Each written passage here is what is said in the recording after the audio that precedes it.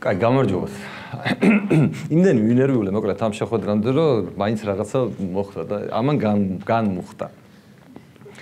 აა ერთი ორი სიტყვას გეტყვით ჩემ თავზე და ანუ ამ პროექტთან მიმართებაში რა რა დამოკიდებულება აქვს მეს რომ მეც რომ გესმოდეთ.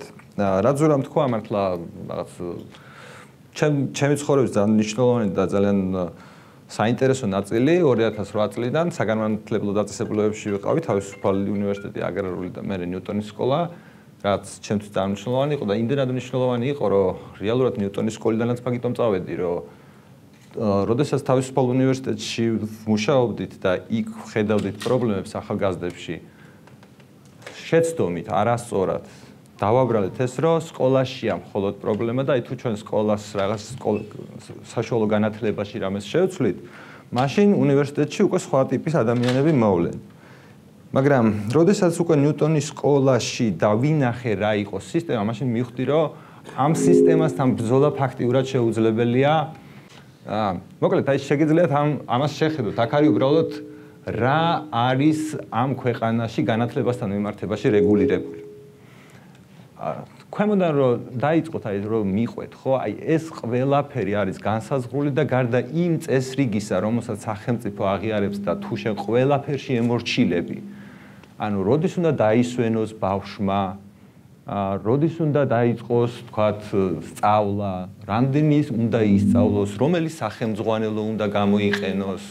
როგორმა მასწავლებლებმა რაც თავარია და ყველაზე მეტი მე მინდა რომ მასწავლებლებთან მიმართებაში ვისაუბრო ეს ყველაფერი მხოლოდ არის იმისთვის, რომ სხვა არანაირი ტიპის განათლება, არანაირი ტიპის ურთიერთობა ბავშვთან არ ჩაითვალოს განათლებად. ხო? ესე იგი, აი ავტორიზაცია რა არის? ავტორიზაცია არის სინამდვილეში რაღაცა უფლება, რომ ჩვენ რაღაც ვისარგებლოთ სიტყვის თავისუფლებით და გამოხატვის თავისუფლებით პატარა ადამიანებთან. ანუ თუ ვიღაცა არ იტყვის, რომ ჩვენ შეგვიძლია ბავშვებთან ურთიერთობა, ან პატარებთან ურთიერთობა, ესე იგი სახელმწიფო არ მოგვცემს იმის საშუალებას, რომ ჩვენ გვერქვას ან ვინმეს ერქვა სკოლა. ეხლა მე რაზეც მოგიყვებით და რასაც ფიქრობთ, როგორი უნდა იყოს სინამდვილეში სკოლა, ყველაფერ ამას ეწინააღმდეგება, აბსოლუტურად ყველა პუნქტს ეწინააღმდეგება. ანუ არ არსებობს რაიმე რომელზეც ვინმე იტყვის, რომ კი, თქვენ სწორი ხართ და ნუ ეს შესაძლებელია ქართული კანონმდებლობით. ანუ ჩვენ თუ გავაკეთეთ სკოლა, ანუ და და თქვენ რო გესმოდეთ და ბევრი ახლა ხედავ რომ ზოგი ჩემი ყოფილი თანამშრომელი აქვს, ზოგი ჩემი ყოფილი სტუდენტია, ბევრი ადამიანი ისედაც მიცნობთ. ანუ რა იყო ამ სასწავლო დაწესებულებების გარკვეულწილად გამორჩეულობის მიზეზი, ხო? გამორჩეულობის მიზეზი ყოველთვის იყო ერთი, რომ შიგნით მენეჯმენტი ცდილობდა რაღაცა თვალსაზრისით ისეთი ორმაგი ბუღალტერია ეწარმოებინა, რომ ერთის მხრივ ავტორიზაციის პრობლემა არ ქონოდა, მაკონტროლებლებთან პრობლემა არ ქონოდა, მაგრამ მეტი თავისუფლება, ну მეტი აა მეტი თავისუფლება შეეტანა, კი, მეტი თავისუფლება შეეტანა სტუდენტებსა და ადმინისტრაციას, პედაგოგებს, ლექტორებს შორის ურთიერთობაში, ან სკოლაში ისეთი ციხი არ მოგვეწყო, როგორიც ყველა დანარჩენ საჯარო სკოლაშია მოწყობილი. თუმცა ეს ჩარჩო დიდი გასახანის საშუალებას არ გაძლევს და თუნდაც ბევრს მოინდომებს საბოლოო ჯავში ისეთივე პრობლემების წინაშე აღმოჩნდება როგორიც აღმოჩნდა ერთ მომენტში მაგალითად აგრარული უნივერსიტეტი როგორიც ახლა არის იფსუ როგორიც ნებისმიერ ისეთ ორგანიზაციას შეიძლება დაემართოს რომელი ორგანიზაციის რაღაცა საქმიანობა შეიძლება ვიღაცას არ მოეწონოს ანუ ხელისუფლებაში ვინმეს არ მოეწონოს მაგრამ ეს ერთი თემა ანუ პრინციპული საკითხი, ჩემი აზრით, რაზეც გუშინაც კი აი ჩვენ მეგობრებთან ერთად საუბრობდით, არის დამოკიდებულება როგორ უყურებს სისტემა ბავშვს. და ამ ამის მაგალითად აი ყველაზე პრიმიტიული რამე მინდა გითხრათ. თქვენ ჩვენ ვიცით რომ გესმით რას ნიშნავს ადამიანის პატივისცემა, ანუ ავტონომია და ასე შემდეგ. და როდესაც პირველად ბავშვი მიდის სკოლაში და მან იცის, რომ იმისთვის, რომ ფიზიოლოგიური მოთხოვნები უნდა დაიკმაყოფილოს და უნდა ამის ნებართვა უნდა სთხოვოს ვინმეს. არის თუ არა ეს და შეიძლება იყოს თუ არა ეს ურთიერთობა თანაბარი მასწავლებელსა და მოსწავლეს შორის. აი ეხლა უცბად რომ ესეთი კულტურა გქონდეს ჩვენ საზოგადოებაში, რომ ბოდიშა თქვენ რომ ვინმეს მოშარდვა მოგინდეთ, მე რომ უნდა მკითხოთ, რომ შეიძლება თუ არა ეს გააკეთოთ. აი ესეთი რამე თუ თქვენთვის წარმოუდგენელია რომ გააკეთოთ, რატო წარმოგვიდგენია რომ ჩვენი შვილები განსხვავებულები არიან და მათ ასეთი შეურაცხყოფელი გარემო უნდა აიტანონ მთელი სწავლის განმავლობაში. ხო ვითომ პრიმიტიული მაგალითია, მაგრამ თუ ადამიანს არ აქვს განცდა, რომ ის არის თვითონ მნიშვნელოვანი, ის მას ესე არ ვზრდით, რომ მაშინ როგორ უნდა მიხვდეს, რომ სხვა ადამიანებიც მსგავსად მნიშვნელოვნები არიან? და თუ ანუ პატივისცემა იმას ნიშნავს, რომ მე ვარ მნიშვნელოვანი და სხვაც მნიშვნელოვანი და ამიტომ უნდა ვცე მას პატივი. და არა იმიტომ, რომ ვიღაცამ დამავალა და თუ მე ისე არ მოვექცე, მოვიქცევი როგორც ინსტრუქციას მომცემენ, მე რაღაცა თვალსაზრისით დავიჟები. ანუ ეს არის სინამდვილეში დამოკიდებულება და ვერავინ ვერ ჩამომითვლის დაწყებული პირველი კლასის რაღაცა აი ამ კონკრეტული кейსიდან დამთავრებული ნიშნების წერით, გამოცდების წერით თუ არ ვიცი რაღაცა მასწავლებლის და მშობლის დამოკიდებულებით, რომ რომელიმე კომპონენტში, რაღაც მომენტში, მთელი თქვა თუნდაც 12 წლის განმავლობაში, დგება მომენტი, როდესაც ბავშმა ნამდვილად უნდა სცეს თავის თავს პატივი. გაუგებარია ეს სად უნდა დადგეს ამ აღზრდა განათლების პროცესში ეს მომენტი.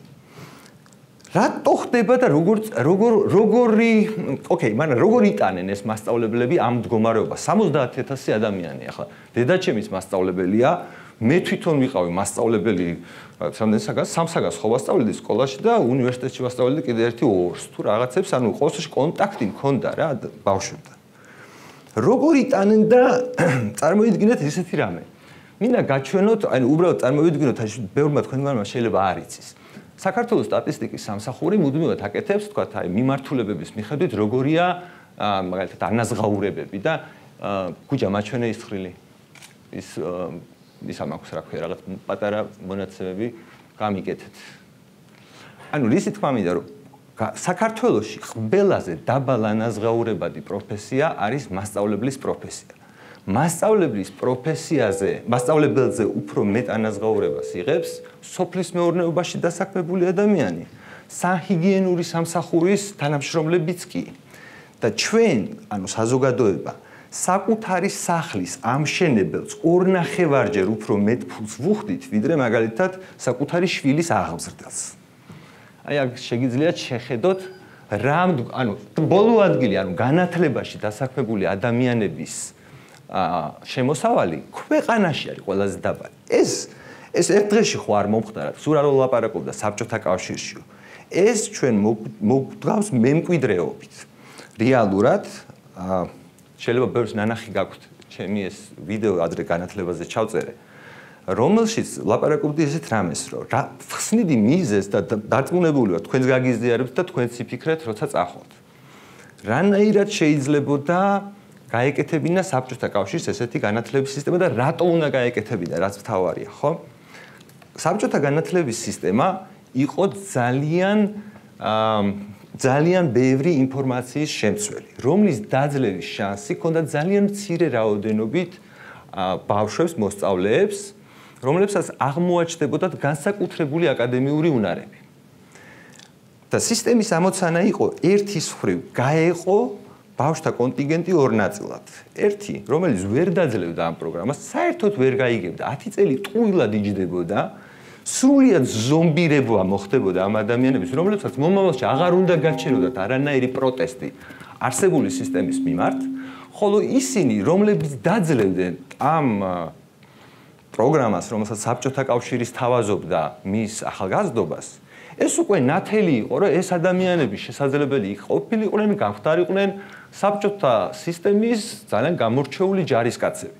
აი კახა ბენდუქიძის ერთ-ერთი სტატიაში ქონდა, რომ რომლებიც რაკეტას გააკეთებდნენ, რომლებიც რაღაცა იმას ბომბს გამოიგონებდნენ, რომლებსაც ბენეფიტი ექნებოდათ, რა ვიცი, რიგის გარეშე სახლის მიღების შესაძლებლობა ექნებოდათ და ასე შემდეგ. მაგრამ ამ სისტემას მაშინაც ემსახურებოდა ყველაზე ყველაზე ჩამორჩენილი ან ყველაზე ასე ვთქვათ აკადემიურად აკადემიური მოსწრების თუ ამბიციის თვალსაზრისით ყველაზე დაბლა მდგომი ადამიანები და თქვენ თვითონ შეგიძლიათ მათ შორის მშობლებს კითხოთ. ყველაზე არაპრესტიჟული პროფესია რა იყო? ანუ სამედიცინო, იურიდიული, ну იქ რაღაც უნივერსიტეტი და ბოლოს პუშკინი, ხო? და დღემდე ანუ ამ 70000 ადამიანის ძირითადი მასა ხო სინამდვილე შაქედან მოდის. აი ნინო და მე გასაუბრებებს ვატარებდით ნიუტონში ალბათ 1300 ადამიანს გავესაუბრეთ, რომლებიც დღესაც მაგისტრები იყვნენ ამ სისტემაში, ანუ მაგისტრატურაში სწავლობდნენ და რას ვეკითხებოდნენ ნინო არ მომატყუებინო ეს ადამიანები, ვეკითხებოდნენ ხოლმე პროცენტების მნიშვნელობას და წილადებს. მაგისტრებმა, რომლებიც ბაკალავრიატის შემდეგ პედაგოგიური რაღაცა კვალიფიკაციის ამაღლების თუ ასე შემდეგ რაღაც რაღაც ლეველზე მუშაობდნენ, უბრალოდ ფიზიკურად არიციან არაფერი დედამიწის ზურგზე. მე ამ ადამიანებსთან ვუშვებთ ჩვენს შვილებს. ისინი რაღაცა მექანიკური წესების ამენეჯმენტებენ ამ ბავშვებს და მე ეს ბავშვები უბედურები რო არიან გვიქვირს. ხო? ანუ სინამდვილეში ხო ეს ამბავი გვჭირს. და ეხლა რა ხარ დღეს არის 17 სექტემბერი. 17 სექტემბერია წავიდა მთელი საქართველოს სკოლაში. ბოლო პერიოდში ამბები ხდება ამ ქვეყანაში, ხო? რაღაცა ნარკოპოლიტიკასთან მიმართებაში რაღაცა ამბები ხდება და დარწმუნებული ვარ რომ ეს ერთ-ერთი საინტერესო საკითხია რომელზეც შეიძლება საუბარი. იქ ეკლესია გამოვიდა საზოგადოებრივ ასპარეზზე და რაღაცა მეებს აყენებს, მოთხოვნებს აყენებს და პარალელურად მიდის პოლიტიკური პროცესი. ესე იგი, სკოლაში დღეს სწავლობენ 18 წლამდე ადამიანები, 18 წლის ადამიანებიც, ხო? როგორ შეიძლება რომ 18, 17, 16 წლის ადამიანებს არ აინტერესებდეს რა ხდება ცხოვრებაში? და ეს ადამიანები, აი თქვენი აზრით, განა რა პროცენტ სკოლებში საერთოდ შედგება საუბარი ქვეყანაში მიმდინარე პრობლემებზე ამ ამ თვალსაზრისით. რამდენ მასშტაბლებს ექნება, მასშტაბლებს ექნება რაიმე თვალსაზრისით ინფორმირებული პოზიცია და საკუთარი მორალური პოზიცია გინდა ნარკოპოლიტიკასთან მიმართებაში, გინდა გინდა სამღრელოების ქცევასთან მიმართებაში, გინდა პოლიტიკურ პროცესთან მიმართებაში. და შემდეგ აი ჩვენ რო გვეწერა ჯარის ამბავი ბიბლიური თავისუფლება, ხო? ეს მასწავლებლები თავის მოსწავლეებს აიძულებენ როგორც ამომრჩევლები რო დაიჭიროს ხელში ავტომატი და ფაქტიურად ადამიანი მოკლას. და ამას, ანუ უბრალოდ მასაკი არ აიძულებს ამ ახალგაზრდებს. საკუთარი მასწავლებლებიც აიძულებენ, რომ მთელი 12 წლის განმავლობაში საერთოდ ამ თემაზე არც კი საუბრობენ. ანუ არც კი იციან ამის შესახებ. მე ახლა არ ვსაუბრობ რამე კონკრეტულ შეიძლება გამორჩეულ სკოლაზე, რომელშიც მსგავსი რამე არ ხდება და დარწმუნებული ვარ, რომ შეიძლება ბევრ თქვენგანს ასეთ სკოლაში ყავდეს თქვენი შვილი, სადაც ესეთი დონის кошмари არ გელანდებათ ხოლმე ღამეს, მაგრამ რო წარმოიდგინოთ, რომ ქვეყანაში 2300 სკოლაა. ანუ რამდენ პროცენტში შეიძლება, რასაც მე ვლაპარაკობ, ეს ესი არ იყოს. ну максимум максимум 1%-ში, ხო? ანუ 99%-ში ხო ფაქტია, რომ ეს ამბავი ხდება. ანუ ხო ფაქტია, რომ ასე გაზრდილი ადამიანების საზოგადოებაში ცხოვრობთ ყველანი. და ასეთი მასშტაბლებლები ყავს, რომელსაც არც იმსახურებენ პატივისცემას, საერთოდ არ იმსახურებენ პატივისცემას და ის მოთხოვნა ბავშვების მიმართ, თქვენ უფროსებს რატო პატივს არ სცემთ? უკაცრავად და საიდან უნდა სცემდნენ პატივს? არიციან რა არის ეს? იმიტომ რომ საკუთარ თავს არ სცემენ პატივს. არაცოსოდეს არც არც განცდა აქვთ ამის რას ნიშნავს საკუთარი თავის პატივისცემა, იმიტომ რომ სკოლაში ეს მომენტი არ დგება არასოდეს. ხო? ეხლა წარმოიდგინეთ. ჩვენ ვიძახით ესეთ რამეს რა. ანუ მე ბევრი მაგ ცხადი ამ თემაზე ნაფიქრი და ну საშუალება რო ვიცოდე რომ თქვენ თელი ღამე გვექნება შემიძლია რაღაცა ბევრი მოგიყვეთ მაგრამ ახლა უნდა შევეცადო რომ თავარი მომენტები გითხრათ რას ვფიქრობთ და რას ვაპირებთ და მე ეს პროცესი ვაწარმოოთ. სრულად საჯაროდ და გამაზე გეტყვით ნებისმიერი თვალსაზრისით საჯაროდ შეგვიძლია ამ პროცესის წარმოება. მაგალითად ჩვენ გვინდა რომ ეხლა ბავშვები მივიღოთ 5-დან 13 წლამდე ანუ სიტყვით პატარა ბავშვები მივიღოთ რა ანუ ეს ეს ეს დოგმა არ არის. 4 წლისაც შეგვიძლია მივიღოთ და 14 წლისაც შეგვიძლია მივიღოთ მაგრამ ჩვენი თავარი ამბავი იქნება ის, რომ აა რეალურად მართლა რასაც შევძლებთ ის გავაკეთოთ. ანუ ის კი არ დაუპირდეთ, რომ ჩვენ ამას ვიზოთ, ამას ვიზოთ. ანუ ვქნათ ეს ყველაფერი საჯაროდ მშობლებთან ერთად და ღიად, რასაც გავაკეთებთ, რომ ეს იყოს ყველასთვის ცნობილი. ჩვენი წარმოადგენით მაგალითად ჩვენს ჩვენი ბავშვები ხო სულ 1 წლისები არიან, ანუ რაღაც მიყვავს 6 წლის და ყველანი არიან 6 წლის რაღაც. ესეთი ალბათ ბევრს გაგიგიათ, მე ძალიან მომწონს ეს სისტემა პატარებში, მონტესორის მონტესორის მოდელი განათლების, რომელიც რომელიც შეუულებრივი, ბუნებრივი ამბავია, რომ იყვნენ სხვადასხვა ასაკის ბავშვები ერთ ჯგუფებში. ეს ძალიან მნიშვნელოვანია იმ თვალსაზრისით, რომ დიდები ეხმარებიან და სწავლობენ პატარების დახმარებას. იქ არავინ არავის არაფერს არ აიძულებს. ბავშვს აქვს არჩევანი, რა ისწავლოს, კონკრეტულად რა უნდა. მას აქვს ინდივიდუალური პროგრამა. ის არავის არ ეჯიბრება. ანუ მის ანუ შინარსი არ არის იმაზე რომ რა ნიშანს მივიღებ. ანუ ჩემი შვილი უკეთესია თუ სხვისი შვილი უკეთესია. ყველა მაგარია. უბრალოდ ის ეჯიბრება თავის თავს გუში. ანუ იდეა არის რომ ჩვენი შვილები ეჯიბრებოდნენ საკუთარ თავს გუში, რომ დღეს იყვნენ უკეთესი ვიდრე იყვნენ გუში და ხვალ იყვნენ უკეთესი ვიდრე არიან ისინი დღეს. ანუ მთელი შინაარსი ამ პროცესის არის რეალურად ეს. ანუ ცხადია ახლა მაგალითად ესეთი რამე ჩვენი კანონმდებლობით სასტიკად იკრძალება და ამის გაკეთება არაფრით არ შეიძლება, მაგრამ ჩვენ ფიქრობთ რომ ესე უნდა გავაკეთოთ. შემდეგი სლაიდი მინდა შეიძლება? ხო, და აი წაგან მასშტაბლებლებს ბევრი რო ველაპარაკე და ძალიან არ მიყვანან მართალი მართლა გითხრათ, აი იმ დღეს ჩვენს ხილს ვუყურებდი და ადამიანებს ვეძებდი და ну, სამწუხაროდ საუკეთესო შემთხვევაში რთულია. და რატო არ რთულია ამ მასშტაბლებლების შერჩევა, ისეთ რომ ანუ ფაქტობრივად აი ზურა ჯაფარიძეს არ აქვს უფლება რომ სკოლაში ასწავლოს. მე არ მაქვს უფლება რომ სკოლაში ვასწავლო. ანუ არ მაქვს უფლება დღევანდელი კანონმდებლობით ჯერ უნდა გავხდე რაღაც მგონი მასშტაბლებლის თანაშემწე თუ რაღაცა მე რაღაც ერთი წელი რაღაც დავკარგო, მე რაღაც ალბათ გამოცდები უნდა ჩავაბარო და ვიღაცამ ნებართვა უნდა მომცეს, რომ მე ბავშვს დაველაპარაკო, მიუხედავად იმისა, მისი მშობელი თანახმა მის მის შვილს ველაპარაკებოდი, თუ არ არის თანახმა და აი ასე შეგვიძლია გავხდე. ცხადი არავის აი მაგალითად ძალიან წარმატებული ახალგაზრდები არიან, ხო? ანუ არც ერთ წარმატებულ ახალგაზრდას არ მოუვა თავში აზრად, რომ იქნებ მასშტაბლებულობაზე ხომ არ მეფიქრა. აი რაზე უნდა იფიქროს, რა სისტემაში უნდა იფიქროს, ხო მასშტაბლებულობაზე, ხო სიგიჟია. და ჩვენ რეალურად რაც ჭირდება და რაც გვინდა, მინდა აგიხსნათ აი ზურა ჯაფარიძის მაგალითზე რა. ეხლა წარმოიდგინეთ, რომ ფეხო ბევრს ლაპარაკობდით რამ განათლების ამბავს და ну ერთხელ რაღაც ზურა ამბობს ამბობს რომ აი მე რა უნდა გავაკეთო კონკრეტულად აი ამ სკოლაშიო რა და ნახოს ვიფიქრეთ რომ რა უნდა გააკეთო ზურამ და რაც რაც მას ყველაზე მეტად აინტერესებს ხო აი და რაღაც კუთხე რა ალბათ მეთქი რაც ყველაზე მეტად გაინტერესებს უნდა გააკეთოთ. კაი მოვიფიქრებ რა მაინტერესებს. და მაინტერესებს რომ რაღაც პერიოდის მერე მეუბნება ფიზიკის მასწავლებლის თანაშემწე მინდა ვიყო. აა აა სასაცილო არ არის მთელი სკოლა ესე უნდა ეწყოს სინამდვილეში. ანუ სკოლა უნდა ეწყოს აი ესეთი კონცეფციით. ჩვენ ყავს ადამიანები, რომლებიც მასწავლებლები კი არ არიან. ჯგუფთან ამ ბავშვები ჯგუფთან ერთად სწავლობენ. ხო? და ყავს მწვრთნელები, რომლებმაც იციან მათემატიკა იცის, ვიღაცამ ვიღაცამ იცის, რაღაცა ბიოლოგია იცის, ისიც იცის, მაგრამ იმ ხალხს არ ენდობა ბავშვები. რეალურად შეიძლება იმათ რაღაცა იციან, მაგრამ ბავშვები იმათ არ ენდობათ. და შესაბამისად ჩვენ გვჭირდება ადამიანები, რომლებიც ამ ბავშვებთან ერთად სწავლობენ და მათი დამატებითი ფუნქცია არის, რომ ბავშვებს რა უჭირთ ყველაზე მეტად? ტაიმ მენეჯმენტი, თავისი დროის მართვა უჭირთ. ანუ მათ ჭირდებათ, რომ ვიღაცამ ვიღაცამ ვიღაც დაეხმაროს ამ საქმეში. ანუ შესაბამისად გონია ესეთი რამე, რომ თუ ზურა იქნება ამ ჯგუფის science-ის რაღაცა ჯგუფის მოსწავლე ერთის მხრივ ჯგუფის გადმოსახედიდან. მაგრამ ნუ რეალურად ტუტორია ხო?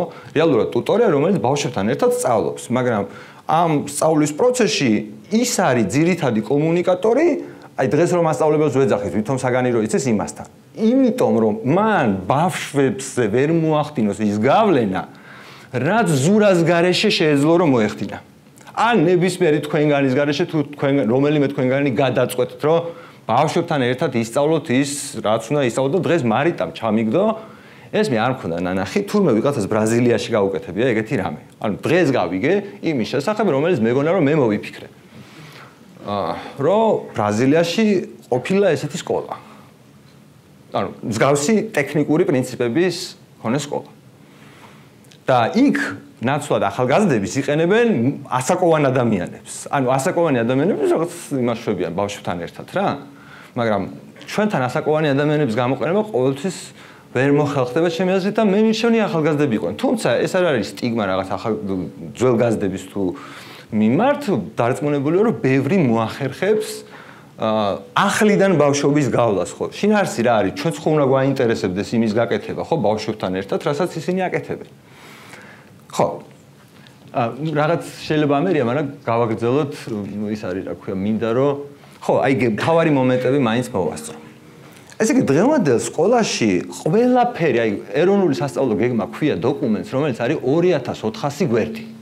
მინდა და ამობეჭდა, მაგრამ ჯერ პრინტერი დაგვენანა, მე რაღაცა, რაღაცა, ანუ მოკლედ აი ესეთი უნდა იყოს რა. ანუ ესეთი დოკუმენტი არეგულირებს როგორ უნდა მოიქცეთ სკოლაში. მოსწავლე, მასწავლებელი, რამდენი საათი გეოგრაფია უნდა ვასწავლოთ, რამდენი უნდა ვაცეკოთ, რამდენი უნდა ვათამაშოთ, რამდენი უნდა დაისვენონ, არ დადეგები შიგარი, ყველაფერი შიგარი გაწერილი რა.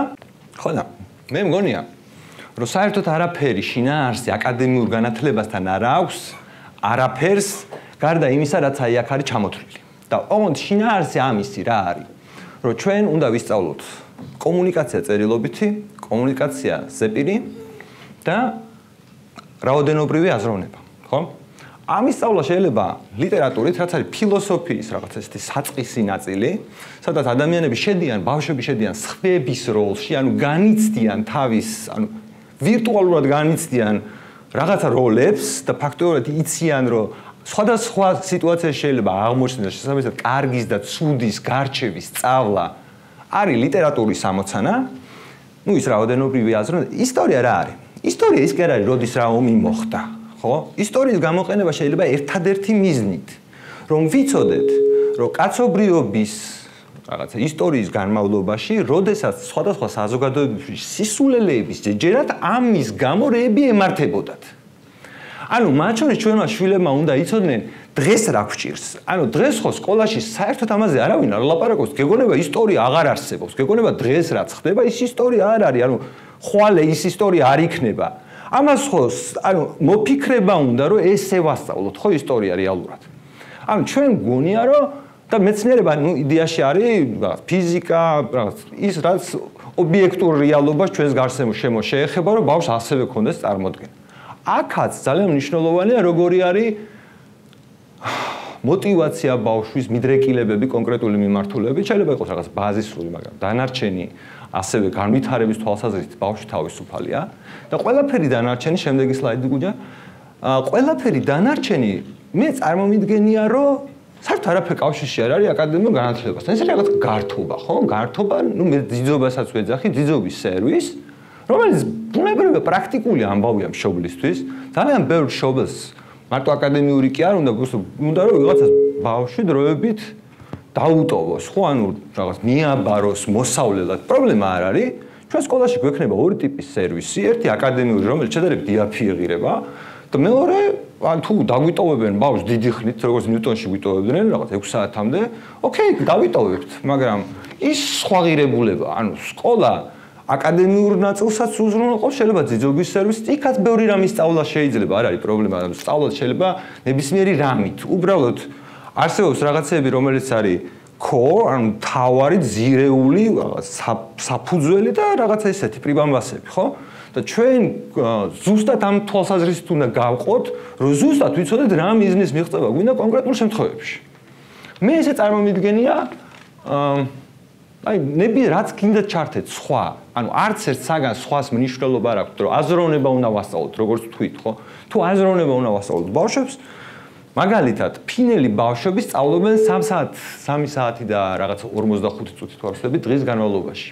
იაპონელი ბავშვები სწავლობენ 6 საათი. ჩინელი ბავშვები სწავლობენ დაახლოებით 9 საათი. ანუ სასკოლო ისინია.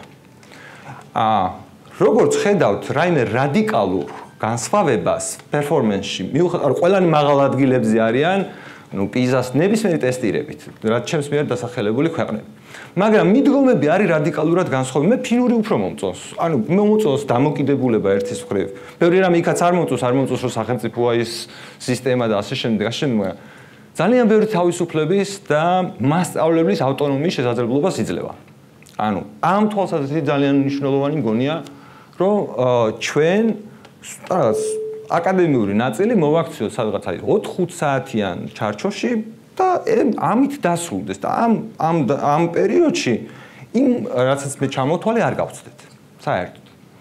შემდეგი აა მე როგორც გითხარით ნიშნებს არ დავწერთ. ანუ ნიშნის შინაარს ვერ ხვდები ანუ ვიღაცამ უნდა ახსნას რა არის ნიშნის შინაარსი რატომ უნდა შევაფასოთ ადამიანები?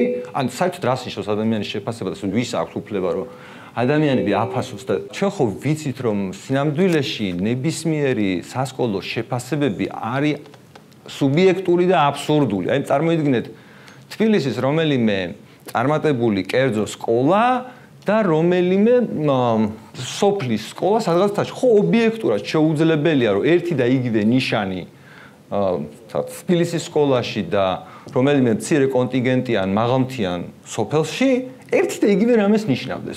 ფიზიკურად შეუძლებელი ისინი რას აკეთებენ ეცეთ მხოლოდ ჯგუფის შიგნით. ადარებენ ბავშვებს ერთმანეთს. ანუ ყველაზე ცუდი რამეა, რაც შეიძლება ადამიანმა გააკეთოს.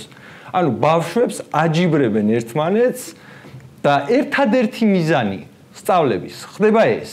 იმიტომ სხვა მიზანი სწავლებაში უბრალოდ ფიზიკურად აღარ არსებობს. ხო ხდებით? ანუ შეუძლებელი არსებობდეს, როდესაც ასეთი სისტემის შიგნით მოძრაობთ.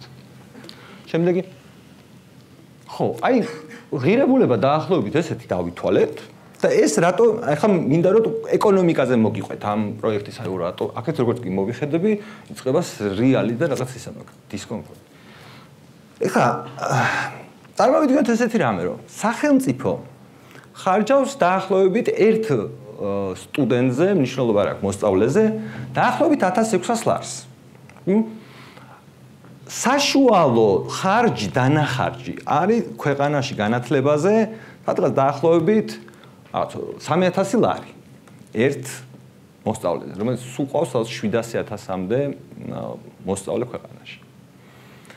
საკმაოდ მნიშვნელოვანი პროცენტი იხდის დიდ გადასახადს. ჩვენი ამოცანა რა არის? ჩვენი ამოცანა ახლა არის, რომ შევქმნათ ახალი ტიპის პროფესია. რეალურად ჩვენ ეს აი ეს ყველაფერი უნდა გამოვიყენოთ იმისთვის, რომ არა უბრალოდ ერთი სკოლა გავაკეთოთ, არამედ გავაკეთოთ სკოლა, რომლის გავრცელება შეიძლება მთელი ქვეყნის მასშტაბით. ანუ ამოცანა თავიდანვე უნდა დავისახოთ, რომ ეს ეს უნდა იყოს სისტემა, და რა ერთი რომელიღაც კონკრეტული სკოლა, რომელიც რაღაც გირჩთან იქნება ასოცირებული ჩემთან თუ ვიღაცასთან, მაგას მნიშვნელობა არ აქვს. რეალურად ეს უნდა იყოს ანუ ის რასაც ჩვენ გავაკეთებთ, მისი რეპლიკაცია უნდა იყოს მარტივად შესაძლებელი.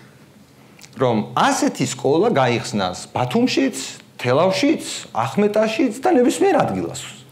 და ამისთვის რომ ეს ჩვენ შევქმნათ, გვჭირდება რომ პირველ პირველ რიგში მოვამზადოთ მასშტაბლებლები. მეტყვი მასშტაბლებლების garaშე ჩვენ უბრალოდ ვერაფერს ვერ გავაკეთებთ. აა აქედან გამომდინარე მგონია რომ ჩვენი პროექტის წარმატება დამოკიდებული იქნება და მივიღებთ ნებისმიერ ჩევას, ნებისმიერ დისკუსიები შეგვიძლია გამართოთ და ასე შემდეგ, დამოკიდებულები დამოკიდებული იქნება იმაზე, თუ რამხელა ინტერესი შეგვიძლია გამოვიწვიოთ პირველ ეტაპზე მშობლებში, რათა პირველი პროექტი განვახორციელოთ იმ მოთხოვნის შესაბამისად, რა მოთხოვნაც გვექნება უკვე ცნობილი. ეს მოთხოვნა ჯერჯერობით ვართ ვინც ჩვენი მეგობრები ვარ ანუ ჩემი შვილები აგერ შეხედან რამოდენიმე ცალი ზურაშვილები და ნუ რაღაც ჩვენი მეგობრების შვილები. რეალობა ასეთია რეალურად ხო?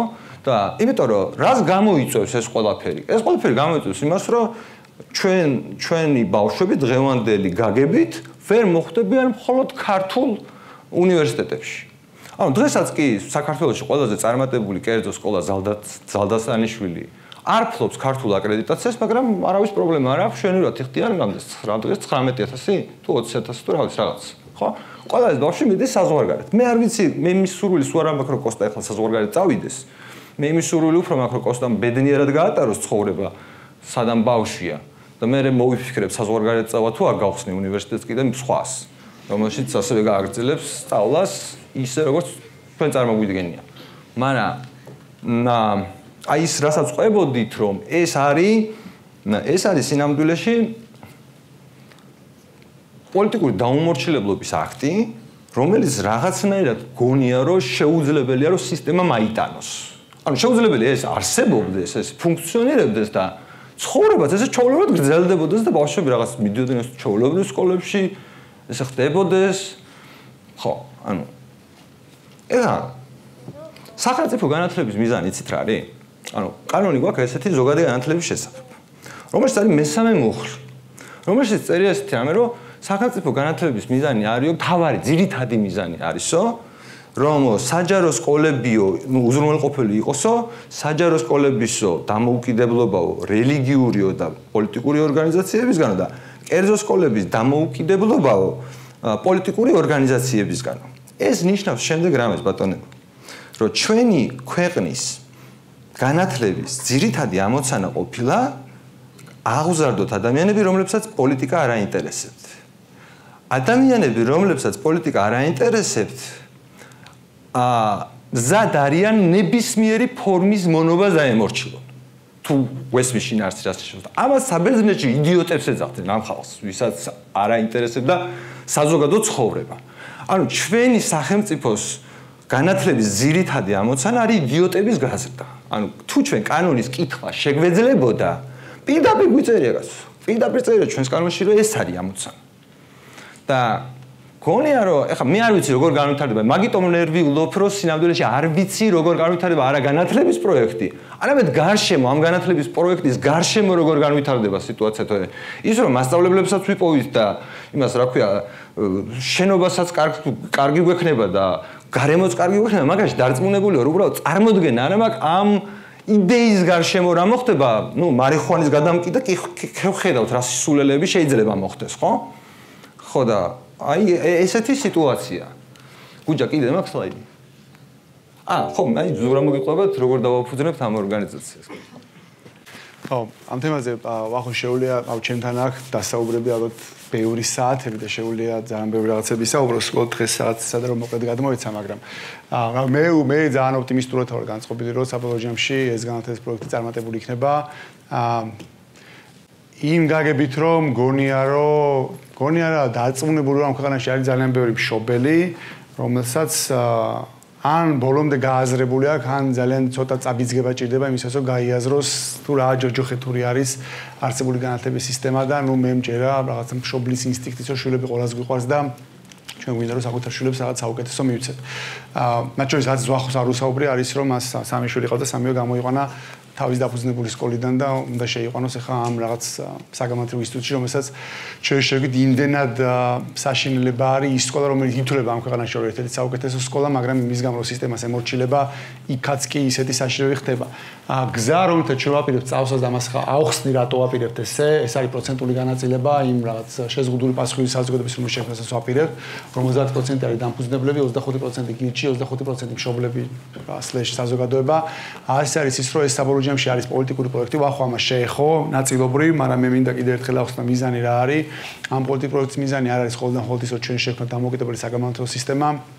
ამ პოლიტიკური პროექტის მიზანი არის ის, რომ გამოვხრათ და ნელ-ნელა ჩამოვშალოთ არსებული ცენტრალიზებული უნიფიცირებული სახელმწიფო განათლების სისტემა. და მეც მჯერა როგორც ვახოსი რომ ჩვენ თუ ამ სისტემას ავაწყობთ შეუძლებელია გვერდზე პარალელურად იმ რაღაც საშინელებამ გააგრძელოს ისე ფუნქციონირება როგორც ის დღეს ფუნქციონირებს. მათ შორის ამის ნაწილი არის ასაც ჩვენ ვაკეთებთ როგორც გითხარით სამოქალაქო დაუმორჩილობის ნაწილიც. რაც გულისხმობს იმას რომ ჩვენ პრაქტიკულად ანუ თავარი პოლიტიკური მოთხოვნა რა არის ამ პროექტის? ეს რო იყოს გასაგები არის ის რომ თუ ჩვენ ვარსებოთ გარკვეული ადამიანების რაოდენობა რომელიც ვიზახით რომ ჩვენ გვინდა ესეთი სკოლის გაკეთება რომელიც ესე ასწავლის და რომელიც ბავშვებს ესე მოამზადეს მომავლისთვის და არსებობს შობლების საკმარისი რაოდენობა რომლებსაც საკუთარი შვილები ნებაყოფლობით მოყავთ ამ სკოლაში და ამაში იხდიან ფულს ჩვენ ვამბობთ რომ ესეთ ურთიერთობაში სახელმწიფო არ უნდა ჩაერიოს და სახელმწიფო საქმე საერთოდ არ არის. ანუ პრაქტიკულად მივდივართ თელი სახელმწიფო განათლების სისტემის არსი, რაც არის იმის წინააღმდეგ. აა და შეიძლება ამისაც ჩვენ თუ შევძერით ამის გაკეთება და კიდევ იმრობ რომ ჩვენ როგორ წარმოგვიდგენია განათლება ჩვენ ისე გავაკეთებთ ამას, მაგრამ არ ვამბობთ რომ სხვებს არ უნდა კონდეთ ისეთივე სკოლები გაკეთოთ როგორც მათ წარმოუდგენთ არის სწორი პირიქით, ჩვენ გავარღვევთ როგორც მარიხონას დათეს შემთხვევაში რაღაც კარს გავანგრევთ და ამ კარში შესვა შეძლებენ სხვა ადამიანების ან ადამიანების ჯგუფები, რომლებიც შექმნიან სხვა რაღაც საგანათლებლო ინსტიტუტებს და იწვევენ რომ ჩვენ ესეთ განათლებას ყიდით და თუ იპოვიან შესაბამის ყიდულებს ბაზარზე, მათაც ექნებათ არსების უფლება და ჯამში მგონია რომ ესეთი ტიპის კონკურენცია კერძო სუბიექტებს შორის არის ის რაც განათლებას გახდეს უკეთეს ამ ქვეყანაში და მათ შორის დაშლის ბოლომდე და ბაზრიდან განდევნის არსებულ განათლების სისტემას. ეს პროექტი რო იყოს წარმატებული, გასაგებია რომ ამ პროექტში დება პოლიტიკური მხარდაჭერა და მაგით არის მნიშვნელოვანი რომ აქ გირჩს კონდეს რაღაცა წილი, იმიტომ რომ გირჩს სულ აქ დაფინანსების პრობლემა და მათ შორის გვინდა რომ ამითი გირჩის დაფინანსების პრობლემაც მეტნაკლებად მოაგვაროთ და მათ შორის პოლიტიკური მხარდაჭერა არსებობდეს ამ პროექტის და ამიტომ მნიშვნელოვანია რომ გირჩიც იყოს. მაგრამ ამას ასევე ჭირდება ამ პროექტს მშობლების მხარდაჭერაც იმ ადამიანების რომლებიც საკუთარ შვილებს საბოლოო ჯამში ანდობენ ამ სკოლას და ამიტომ მნიშვნელოვანია შვილებიც ამაში იყვნენ ჩართული და მარტო რაღაც ფორმულა რომელიც ვახო მოიფიქრა პრინციპში თვალისწინებს ამას რომ მათაც კონდეც დაინტერესება რომ საბოლოო ჯამში არა უბრალოდ რაღაც ფინანსური დაინტერესებას კელაპარაკე დაინტერესება იმ შორის პროექტი იყოს წარმატებული და მათ შორის ჩართულები იყვნენ საკუთარი შვილების გაზდაში იმიტომ რომ ეს სისტემა რომელიც ჩვენ წარმოგიდგენია და ესე გვესმის გულისხმობს იმას, რომ შობლები მაქსიმალურად უნდა იყოს ჩართული საკუთარი შვილების გაზდაში. ანუ ეს არის როგორც ჩვენ გვაქვს წარმოადგენელი ხა ამ თუ როგორც ვაპირებთ რომ გავაკეთოთ. შემდეგი სლაიდი და მე მგონი მალე ვამთავრებთ. აა აა ერთ-ერთი მოთხოვნა რომელიც გინდა დავაყენოთ, ხო, ეს სლაიდი წეგანაჩენეს ვახო მახსენა. ეს არის 1600 ლარი არის მომხარებლების მიერ საშუალო დახარ, ანუ აა სახელმწიფოს მიერ ერთ მოსწავლებზე საშუალო დახარჯული ფული და იმის გამო რომ მშობლები რომელიც საკუთარ შვილებს ჩვენ განათლების სისტემაში მოიყვანენ, ისინი პრაქტიკულად ამითი დემონსტრაციულად უარს ამბობენ სახელმწიფოს იმ სერვისზე რომელიც სახელმწიფოს მათ ძალით ტენით ჩვენ ვიზახით რომ ეს ფული მათ უნდა დაიბრუნონ და მათ შორის ერთ-ერთი მოთხოვნაც იქნება არის ის რომ ეს ფული სახელმწიფოს სახელმწიფომ დააბრუნოს უკან. ანუ გარდა იმისა, რომ არ ვემორჩებით რაღაც რეგულაციებს, მათ შორის კონკრეტულ ფულსაც მოუთხოვთ და დიდი იმედი მაქვს, რომ წავართმევთ. კაი, შემდეგი სლაიდი. ხო, ეგეთ რაღაცებს კიდე მოვიფიქრეთ, აქ ახლა ორ რაღაცებია, მაგრამ ბევრი რაღაცებია, რაც შეგვიძლია სახელმწიფოს ვეჭიდაოთ და თან გავერთოთ გასაგებია, რომ გართობაც იქნება. აა ხო, ეს არის უბრალოდ რაღაცების road map-ივით არის, როგორ ვაპირებთ ამის გაკეთებას, ანუ ახოს ეს გზა გავლილი აქვს უკვე სამჯერ როგორც გითხარით, პირველი რაც არის ეს არის მშობლების რეგისტრაცია, ანუ წინასწარი განაცხადის გაკეთება, რომ მე დაინტერესებული რომ ჩემი შვილი თქვენ სისტემაში მოვიყვანო, შემდეგ არის მასწავლების შერჩევა, რომელიც როგორც ახო იძახის არის ყველაზე შრომატევადი საქმე და ყველაზე რთული საქმე და მათ შორის ყველაზე პრინციპული საქმე ამ ამ ამ პროექტში, ა კურიკულუმის სილაბუსების შემუშავა, რომელიც მე თავიდან მაშინ და მე ახო მომიხსნა რომ ეს პრობლემა არ არის, იმიტომ რომ აა ბევრი სხვადასხვა ტიპის კარგი კურიკულუმები არსებობს, საიდან შეიძლება ან მიქსის გაკეთება, ან არჩევა, ნუ ფასიანია, მაგრამ შედარებით მარტივად დალაგებული და ხელახალო სპეცის მოფიქრებას აქ არ ვაპირებთ. აა ინფრასტრუქტურის შერჩევა, სასწავლო მასალის მომზადება და საბოლოო ჯამში სწავლის დაწყება. აა ხო, ნუ აა დაახლოებით რამდენიმე თვის ამბავია, ხო ეს? ახლა 4-5 თვის ამბავი არის. ეს რომ მივიდეთ რა ეს გზა რომ გავიაროთ და საბოლოო ჯამში მივიდეთ იქამდე რომ სკოლა გაიხსნას, მოდი ესე დავაცხადოთ, პირველი გაიხსნას, გააჩნია რა მასშტაბზე გავალთ. და ბოლო სლაიდზე რომ გადავიდეთ.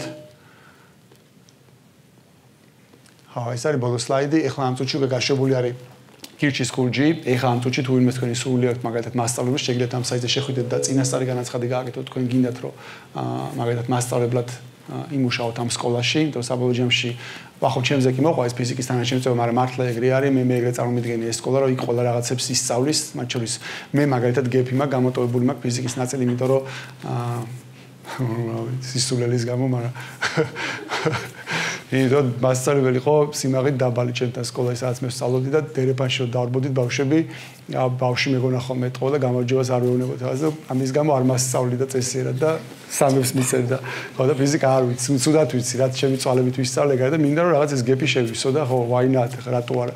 ამ სკოლაში სიამოვნებით გავაკეთებ მაგას. არა რა ნებისმიერ თქვენგანს ეს გაშვებული შეუძლია. შევიდეს მათ შორის თუ სხვა შვილები ყავთ ბავშვები და ამ სკოლაში მოიყვანოთ ორივე ის გაშვებულია ახლა ამ წუთში ნებისმიერ სულს შეუძლია დაიწყოს დააკეთოს რეგისტრაცია ამის შევსებას დავიწყებთ უკვე ნელ-ნელა და როდესაც ავალთ რაღაც გარკვეულ რაოდენობამდე ჩათვალეთ რომ პირველი სკოლა გაეშვება. საბოლოო ჯამში როგორც გითხარით მიზანი არის ის რომ ჩვენ შეგვიძლია ალტერნატიული განათლების სისტემა ჯერჯერობით ეგრეთ წოდებული საშუალო სკოლის ასაკზე ვართ, მაგრამ ჯამში გვინდა რომ ეს იყოს სკოლების ქსელი, რომელიც საბოლოო ჯამში ამ ქვეყანაში შეცვლის არსებულ ძალიან ძიმე რეალობას. სულ ეს არის თმაც გვინდოდა ძალიან დიდი ბოდიში იმისო ცოტა რაღაცა დეპრესიულის გამო გვიდა მაგრამ თემა არის ესეთი რომელზეც აუ რა ვერ ხუმრობთ ხოლმე. კი რაღაცებზე კი ხუმრობთ ხოლმე და ზოგადად ხუმრობ გიყვარს მაგრამ ამ თემაზე ცოტა დაძაბულები ვართ ხოლმე და ამიტომ ცოტა ისეთის გამო გვივიდა მაგრამ შინაარსი არის ეს. თუ რამე შეკითხები პირველში კიდევ ერთხელ დიდი მადლობა რომ მოხვედით თუ რამე შეკითხები გაქვთ შევეცდებით რომ გიპასუხოთ. მადლობა კიდევ ერთხელ. მადლობა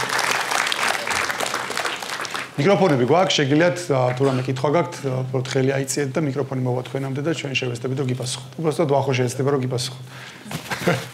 მე მინდა რომ უცხელად გიპასუხოთ. ხოთ იმისა რომ კი მაღლობებს ზოგადად ხელი ქვეყანაც მაღლობებს, სხვა ბავშვებს მაღლობებს, ჩემი შვილი ყველაზე მეტად მაღლობებს. აა ჩემი ერთი შვილი 8 თვე არ დადის სკოლაში. ანუ კონკრეტული პრობლემის გამო არ დადის და შესაძლოა ხა ორი კიდე არ დადის, ანუ სამი არ დადის. ანუ მე ჩემი პრობლემა მაქვს, ეს მინდა გადავწყვიტო. მე რე შემდეგ ეტაპზე თუ ეს გადავწყვიტე, თქვენზე ოპტიმისტური ვარ იმ ნაწილში, რომ აა ბედნიერი ბავშვები ანათებენ. აი ჩვეულებრივ ჩემი მეგობრის ფრაზა გამახსენდა, შეუძლებელია რეგიონში კი არა რა ვიცი, ქვეყანაში იყოს რამოდენიმე სკოლა, სადაც ბავშვები რადიკალურად განსხვავებულები არიან, როგორც დამოკიდებულებით ისე, ანუ ცხოვრებისადმი დამოკიდებულებით, სწავლისადმი დამოკიდებულებით, ყველანაირად განსხვავებულები არიან და ეს ვერ შეამჩნიოს ხუებმა.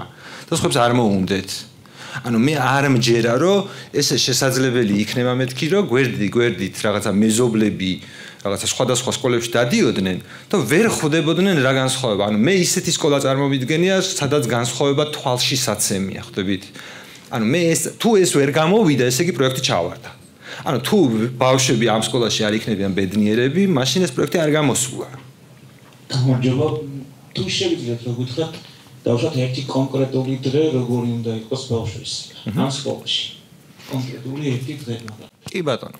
ანუ მოდი მოდი თქვათ ასაკი გავმიჯნოთ რომ უფრო შესაძლებელი იყოს რომ იგი არა როგ წარმოვიდგინოთ? აი პატარებთან პატარებთან მონტესორი ვახსენე წეღან. და არ ვიცი შეიძლება იცოდეთ მაგრამ მაინც სხვებისთვის ვიტყვი. რეალურად ეს არის არა სკოლა როგორც ასეთი არამედ ეს არის სასწავლო გარემო. ანუ შენ ქმნი სასწავლო გარემოს სადაც ბავშვს შეუძლია თავის არჩევანით დაკავდეს სხვადასხვა საქმიანობით რომელიც წინასწარ არის ყველაფერი გამზადებული, ანუ ნებისმიერ მივც, რომელსაც ის სკოლაში შეეხება, აქვს თავისი შინაარსი. ანუ თუ ის გადაწყვეტს რომ რაღაც მაგალითად და იქ არის მაგალითებს გეტყვით რა და უფრო მიხვდებით რომ ძალიან მნიშვნელოვანია რომ ბავშვები ერთმანეთს კეთილად მოეხსენ მოემსახურონ და ვიღაცა რომ სწავლობს ვიღაცა მიდის პატარა რაღაცებს ჭრის იქ იმებს რა ქვია და სთავაზობს ხილს და ადის ბავშვებს თავაზობს. ეს საქმეა. ანუ ეს არის სწავლა რომ მან ისწავლოს ამის კეთება. მეორე დღეს ეს ბავშვი სხვა რამით არის დაკავებული? ამ სამზარეულო საქმიანობით კიდე განსხვავებული ბავშვი დაკავებული და რეალურად მასწავლებელი რასაც აკეთებს. ინდივიდუალურად ეს ბავშვები დამოუკიდებლად მუშაობენ უბრალოდ მასწავლებელი ინდივიდუალურად თუ შეკითხვა არსებობს თუ რაიმე ჩევის მიცემა არის საჭირო აი სრული სიმშვიდის გარემო შეიძლება სკოლა სკოლაზე რომელზეც ჩვენ გავგავს გავლილი ხო უბრალოდ წარმოუდგენელი დასვენება რო წყოდა ვა ყველა რო ყვირის ხო? ანუ ეს გარემო არ არის. ანუ ჩაოლებროთ ადამიანები როგორც თქვენი შვილები შეიძლება სახლში არიან როცა მშვიდად ზოგი ფილმს უყურებს ზოგი წიგნს კითხულობს ზოგი მუსიკას უსმენს. ასეთი გარემოა ამ სკოლა ამ სასწავლო გარემოში თუ სკოლაში თუ რაც კიდე დავარქვათ უბრალოდ ეს იმას არნიშნავს რომ ბავშვები არიან თავის ნებაზე მიშვებულები ეს იმას ნიშნავს რომ მასწავლებელი რომელიც ამ ჯგუფთან ერთად მუშაობს მან ზუსტად იცის თითოეული ბავშვის როგორც შესაძლებლობა ისევე პრობლემები ამ ბავშვების და ის მუშაობს ამ ბავშვებთან ინდივიდუალურად. ბევრი სამუშაო არის ჯგუფური. და ზუსტად ამიტომ არის მნიშვნელოვანი ის ასაკობრივი განსხვავება, რომ ამ ჯგუფში უფროსები ეხმარებიან ბავშვებს, ისინი უფრო ღრმად სწავლობენ, ანუ რაღაც საკითხს სწავლობს ყველა მაგრამ სიღრმე არის განსხვავებული. შესაბამისად, უფროსებს შეუძლიათ დაეხმარონ და მასწავლებელი არ არის ყოველთვის აუცილებელი. არ არის აუცილებელი, რომ მასწავლებელმა გამუშტროს. მეგობარსაც შეუძლია დახმარება. ანუ წარმოიდგინეთ რაღაცა ისეთი ოჯახური გარემო, ამ ოჯახურ გარემოში ადამიანები დამოუკიდებელ, ანუ წესრიგი არსებობს, წესრიგი იციან, რომ სხვა ხელის შესვლა არ შეიძლება, იმიტომ კი არ შეიძლება, რომ რაღაცა დააგჯის ამის გამო.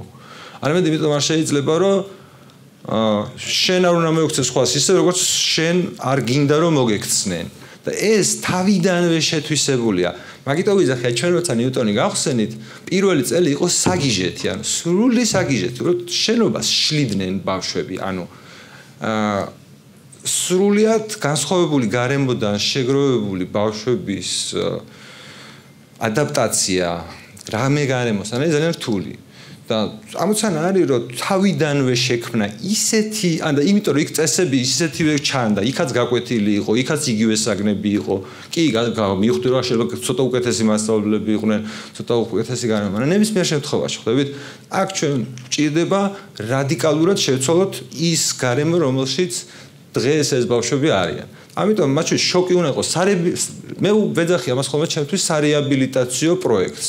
მარტო ის ბავშვები იქნებიან ბუნებრივად ამ გარემოში, რომლებიც პირველად ამ გარემოში მოვლენ, მაგრამ თუ ბავშვი ოდესმე ნამყოფია საჯარო სკოლაში ან ჩაოლებრივი ამ სისტემის სკოლაში და უკვე ათვისებული აქ ის სტიმულები, რასაც აძლევს ის განათლების სისტემა, ჯერ მას დესკულინგი ჭირდება, ანუ ჯერ მას ჭირდება, რომ დაივიწყოს რაღაცნაირად ის თავისი წესები, რომლის რომელიც წესების მეშვეობითაც ის ფუნქციონირებდა ჩაულებრივ სკოლაში და მხოლოდ შემდეგ შევიდეს აი ახალი სკოლის მუღამში.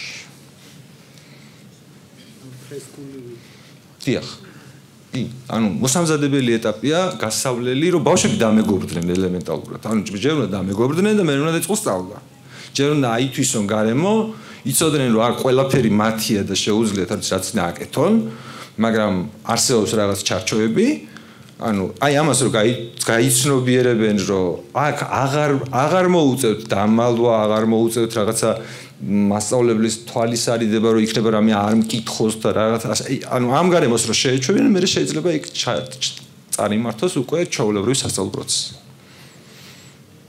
გამარჯობა, სამი კითხვა მაქვს და მე ვაყარო თუ თუ მარტივებია დავიმახსოვრე. თუ არა და ცაცაკე.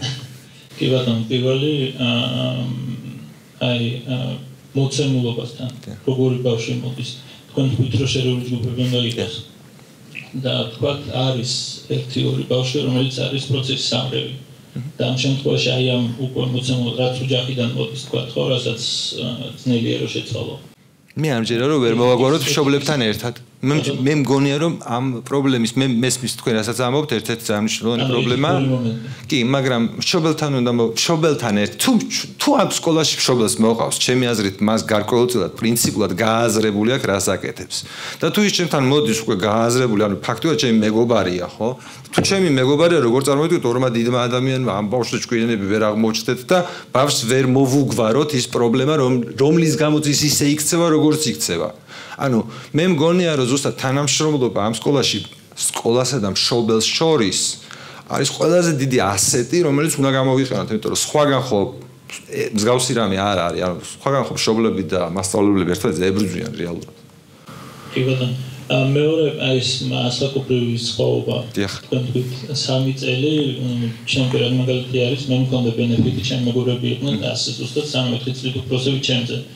მე ვიყავი 2 წლით უმცროსი ჩემ კლასელებზე და რაღაც ძალიან კარგი იყო. კი, კი, ანუ ბენეფიტი არის, მაგრამ იმ შემთხვევაში როცა უმცირესობაში არის უმცროსები და როცა თქვა არის 5-7 პატარა და 2 დიდი, ასე ეს მე მგონია რომ არის შესაძლებლობა იმისა, რომ ეს პატარები უფრო გაუფანტავენ ყურადღებას დიდებს და იმათთვის პირიქით ეს იქნება ეს ეგრეთ წოდებული დიზადვანტაჟი, რომ ანუ ამასთან დაკავშირებით თუ გაქვთ რამე რაიმე გეგმა, ანუ როგორ უნდა განანაწილოთ ეს იცით რა არის მართალი გითხრათ ანუ ეხლა დეტალები არ მაქვს აი ეს კონკრეტულად აი ასე ვიზავთ და რაღაცა მზათა ღია ვარ რომ ნებისმიერი ესეთი საკითხი განვიხილოთ მათ შორის თქვა თუნდაც ანუ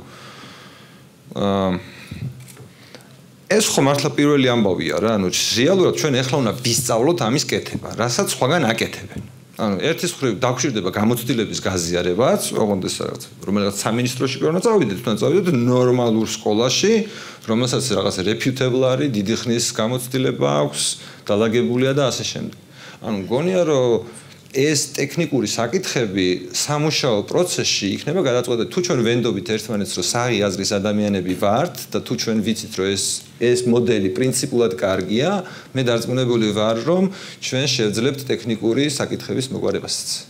კიდევ ბარემ პულსის და პულსის და და თემატური დიფერენციაცია როგორ მოხდება ანუ თქვენ თქვით რომ იქნება რაც ფუძემდებელი აკადემიური ნაწილი ლიტერატურა ისტორია ფიზიკა და შემდეგ. ფიზიკა ანუ საიენსი ანუ რომელშიც შეიძლება საძალებელი იქნება არჩევა ანუ იქ იქ უფრო მეტი არჩევანი მგონია აი აი ამ აკადემიური ნაწილის ფონდა როცა ერთი ბავშვი თქვა გამოავლენს უფრო დიდ ნიჩს თქვა მუსიკაში მეორე ფიზიკაში მესამე ლიტერატურაში და შემდეგ.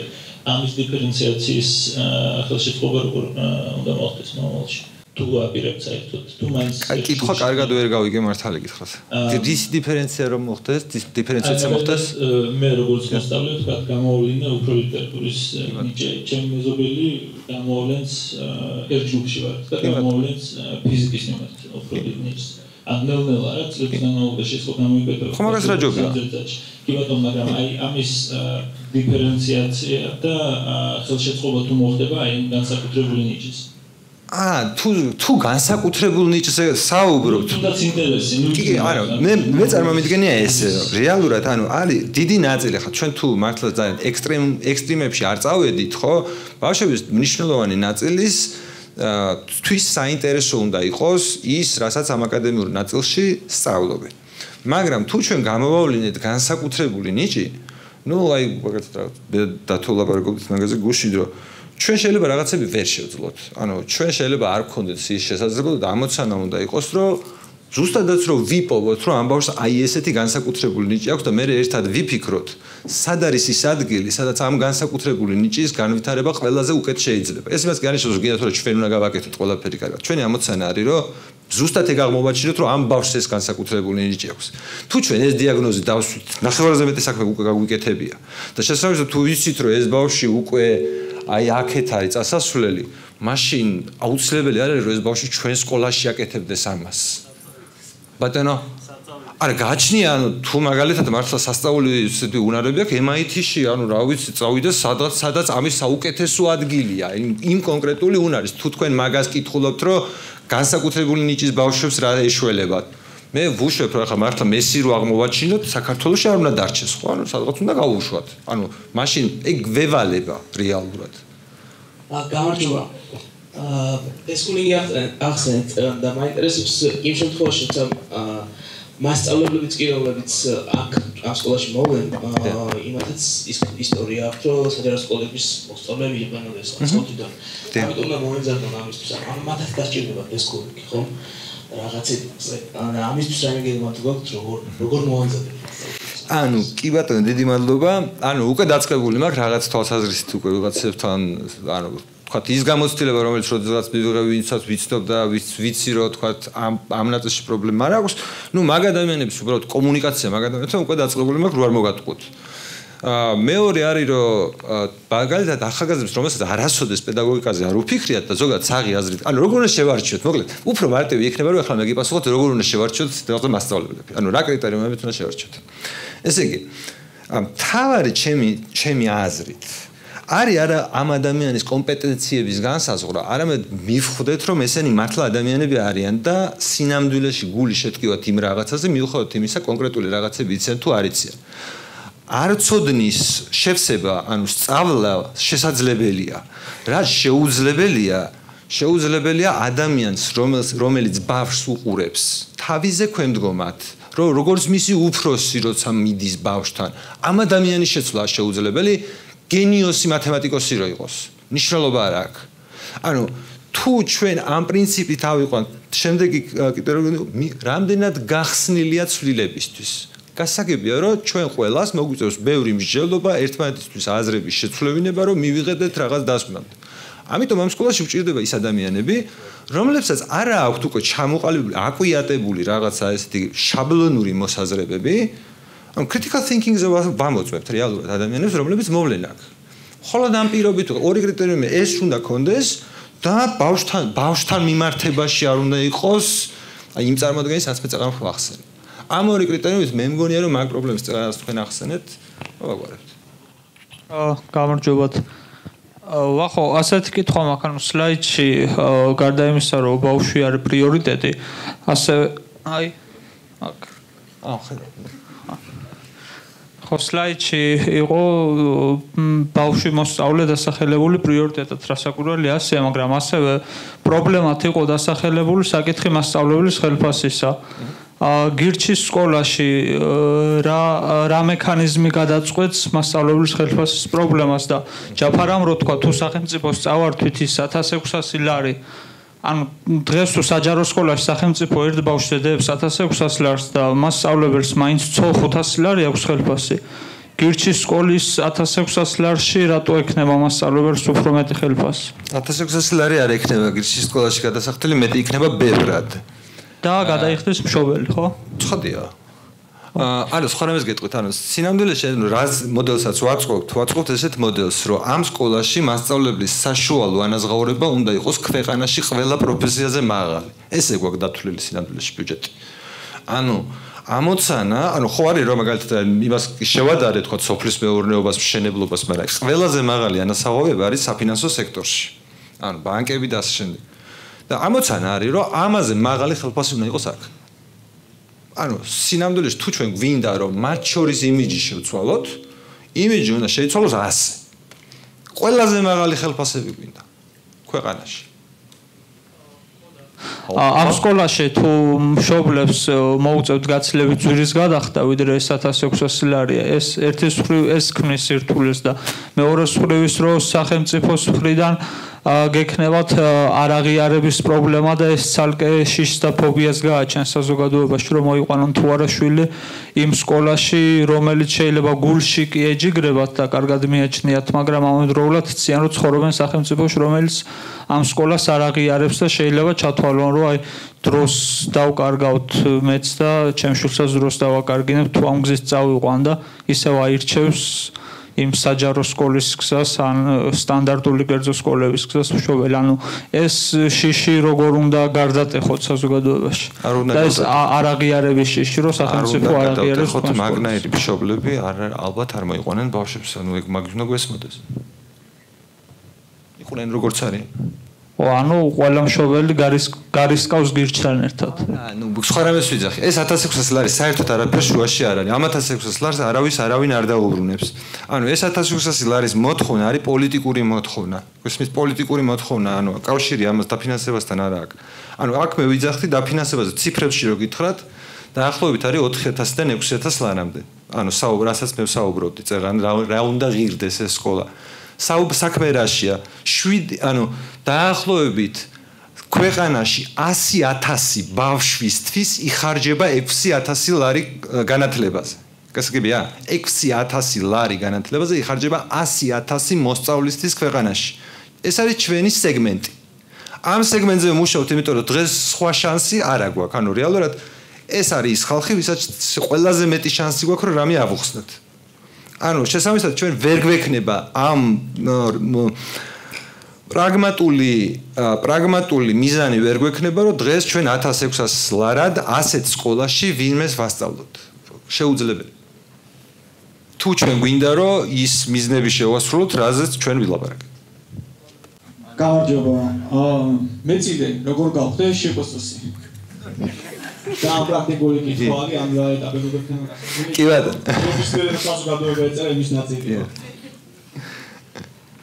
აა ესე იგი ეს მე ძალიან მაინტერესებს ანუ უკვე ჩემს მეგობრებს ფინანსებში ვინც ერკვევა უკვე თხოვე მაგ ნაწილში დახმარება. ანუ მე მაქვს იდეა უბრალოდ შემდეგი რა ანუ მაგ მშობლებთან დაკავშირებით რა რომ აი IPO-ს რო აკეთებენ ანუ რაღაცა მომენტში ვიღაცა აკეთებს რომ თავის კომპანიის წილები საჯაროდ იყიდებოდეს, ხო?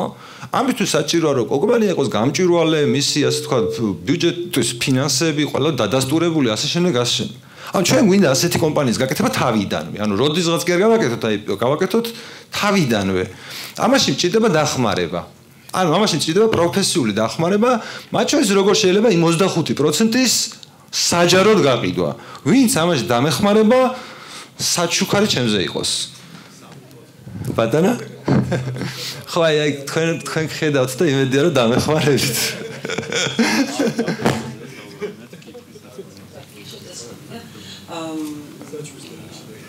მაინტერესებს დაახლოებით როდისთვის შეიძლება გაიხსნათ კი ბატონო. რომ მე მირჩენია რაღაც მომენტში თუნდაც ერთგვარი ექსპერიმენტია ხო? ბოლომდე და რაღაცა ერთობლივად წავიდეთ. მირჩევი ამ ექსპერიმენტში ნამდვილად ჩავება, ვიდრე სრულყოფილი ხო სრულყოფილი ანათ იაროს ბავშვა და ის ერთ წელი რომ დაკარგული იყოს. და როდისთვის ანუ აი წარმოიდგინეთ, ჩემი მეც იგივე მეც მშობელი ვარ, მეც თქვენს მდგომარეობაში ვარ რაღაც. ეს რაღაც უნდა გადავწყვიტო. თან ჩემი იმას მიშვიდა. და ის არის რა ქვია, ანუ ტექნიკურად თუ ჩვენ ყველაფერი სწორად გავაკეთეთ, ამის შესრულება შესაძლებელია 4 თვეში. ანუ თუ არაფერმა არ შეგვიშალა ხელი, ამის შესრულება შესაძლებელია ტექნიკურად 4 თვეში, ну, მაქსიმუმ 5 თვეში. აა მარა როგორ განვითარდება ზუსტად მაგიტომ არის ჩემი ასე თქვა ესეთი დამოკიდებულება ამ ყველაფრის მიმართ ამიტომ ჭირდება რომ რაღაცნაირად ბევრი ვილაპარაკოთ, გვესმოდეს ერთმანეთის და ასე შემდეგ, რომ აი ეს პრობლემა, ნუ თუ როგორ გითხრათ, ჩვენ ფაქტობრივად დღეიდან ვიწყებთ, ანუ აი ეს ხვალიდან რომ ჩავრთავ მაგალითად რაღაცა ჩემს გადაცემას და იქ რო ვილაპარაკებთ და რაღაც ფაქტობრივად რეპორტინგს გავაკეთებთ, რას რა გავაკეთებთ, რამდენი მასწავლებელი მოვიდა, რა ვქენით, რამდენი ბავშვი დარეგისტრირდა და ისედაც გვეცოდინება და რაღაცა და რაღაცა და ამით ჩვენ ერთობლივად მივხვდებით თქვენი შვილის მომავალსაც და ჩემი შვილის მომავალსაც. კარკოლი რამე რაოდენობა რა რა რამდენი ბავშვი უნდა მინიმუმ მინიმუმ თუ ჩვენ შევაგროვეთ აიო 250-300 ბავშვი ვიწყებთ.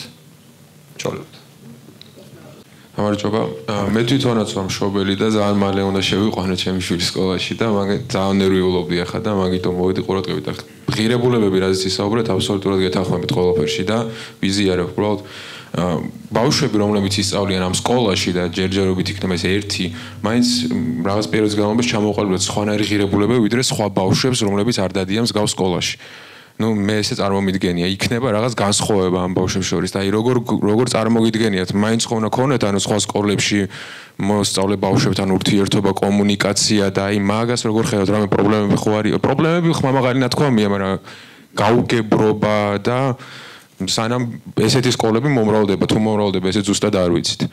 და თქვენ როგორ წარმოგიდგენთ აი მათი კომუნიკაცია ერთმანეთთან? ამ იცით რა არის მე ხა მაგალითად ანუ ჩემი შვილები ჩემი აზრით განსხვავდებიან იმიტომ რომ ნუ რაღაც ჩემი გავლენა ხო? მაგრამ ეს არ ნიშნავს იმათ რომ მათ უჭირთ რაღაც ურთიერთობა. თუმცა შეიძლება უჭირთ კიდეც და ამის მიზეზი. დასრულ ადამიანში ხა მე თვითონაც ეგრე ვარ. მე ჩვენ ახლა განსხვავებულ ადამიანებთან ყოველს გვიჭირს ურთიერთობა. აა მაგრამ რაც გონია და ანუ უბრალოდ მე ამის მჟერა რომ თუ ჩვენ ამ ყველაფერს გავაკეთებთ სკოლის შიგნით ემპათიით ანუ თუ ანუ იმას გაერთოთ რომ ის იდიოტია რაღაცა რო არ ესმის. ანუ თქო რომ ის დასახმარებელია იმიტომ რომ ეს არ ესმის. ისევ ჩვენი მოსაგვარებელია ეგ პრობლემაც. იმიტომ რომ ეგ პრობლემა ხო ნებისმიერ შემთხვევაში იარსებებს. აი წარმოიდგინეთ რაღაც პერო ვაკის სკოლა და იქ მოსწავლე ბავშვები როცა ხვდენიან რაღაც ვარკეთილელ თანატოლებს. ანუ ხო წარმოგიდგენიათ რომ იგივე პრობლემა ისედაც არსებობს ძალიან მაღალ ღირებულების სკოლებში რო სწავლობენ ანუ კაპუჭებული მერხები და ეგეთ ცოტა ეს გაჭირებების სკოლები მაგაზე ფიქრიც არ მინდა რომ არ მოგატყუოთ ანუ არც წარმომიდგენია რომ აი ესეთი რაღაცა ანუ სინამდვილეში ემპათია არის ყველაზე ალბათ ისეთი თვისება, რომელიც ჩვენ უნდა შევეცადოთ, რომ ნებისმიერ სკოლაში, სახლში, არ ვიცი, მნიშვნელობა არ აქვს, ჩვენ შვილებს გამომუშავოთ. ეს მოგვცემს იმის საშუალებას, რომ ისინი როცა იგრძნობენ, რომ ინტელექტუალურად სხვაზე მაღლა არიან, ეს არ გამოიყენონ ცუდად. გამარჯობა. მეტად რო აგვიხსნა მოსწავლე მასწავლებლის ურთიერთობა რა, ან წეგან ახსენეთ, რომ ერთი იქნება მასწავლებელი, ну, ვიღაც პროფი, და იქნება ვიღაც დამხმარესავი და შეიძლება იმას კონდეს ურთიერთობა ბავშვთან.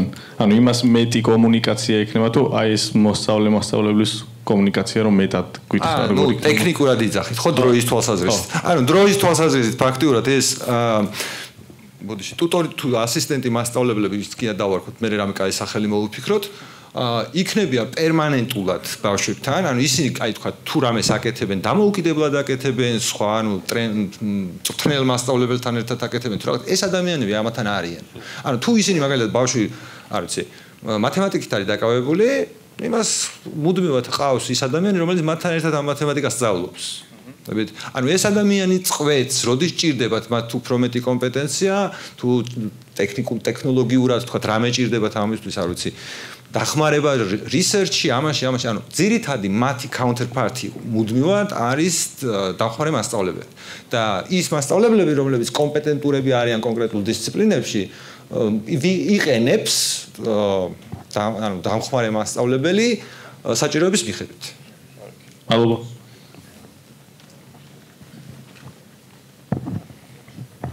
გამარჯობა აა მაინტერესებს ანუ კითხო პასუხის რეჟიმში მინდა რომ კითხვა დაგისათ. თქვენ როგორი ტიპის სკოლა დაამთავრეთ? აუ მე დავამთავრე 1988 წელს სკოლა საბჭოთა კავშირში.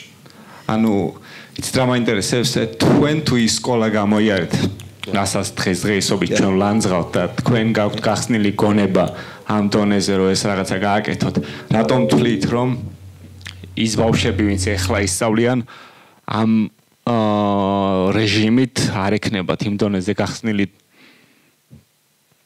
აზროვნება და თქვენ შეგიძლიათ ამ ყველაფერს გაკეთება. ანუ თქვენ თუ ამ იმ რეჟიმში რაც რეჟიმში ისწავლეთ და მიაღწიეთ ამ დონეს რაც ახლა გააქვთ და აზროვნებთ რატო თვლით რომ ამ ახალგაზრდობას ვერ შეიძლება ამ რეჟიმში თუ ისწავლიან ამ მის მიღწევა. ვიღაცას აუცილებლად შეიძლება და შეიძლება რაღაც ეს მაგრამ ერთეული იქნება. ახლა თქვენ გონიათ რომ ეს საშუალო ვარ?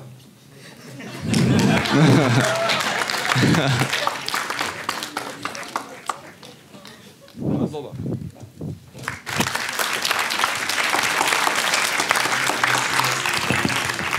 ძალიან დიდი მადლობა ყველას.